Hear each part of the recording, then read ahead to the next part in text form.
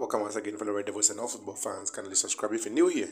So, Man United had their final training session at Carrington ahead of their clash against Aston Villa in the Carabao Cup. Anthony Martial is fully fit and trained with the squad. United are looking forward to put Aston Villa to the sword at the Theatre of Dreams tonight. An exciting atmosphere at Carrington saw Cristiano Ronaldo display some amazing skills, shocking his teammates but he still got even at his age. We are expecting Erik Ten Hag and his boys to make a statement in tonight's game against Unai Emery's side.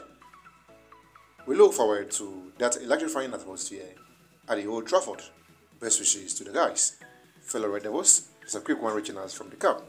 Subscribe, like, and be here for more updates. Thanks for watching.